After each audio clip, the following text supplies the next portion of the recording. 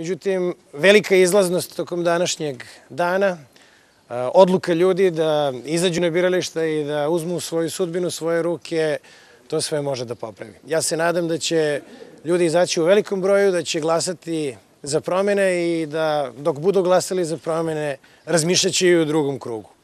I ko je taj koji u drugom krugu najlakše tu promenu može da i donese. Ono što je izuzetno važno je da bude odbranjen integritet izbornog procesa, da se svaki glas prebroji pošteno.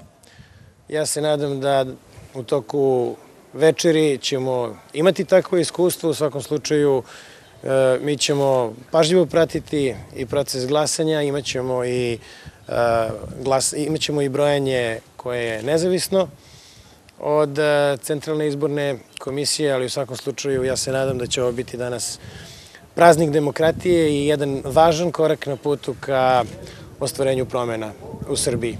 Prvi korak danas, sledeći korak za dve nedelje.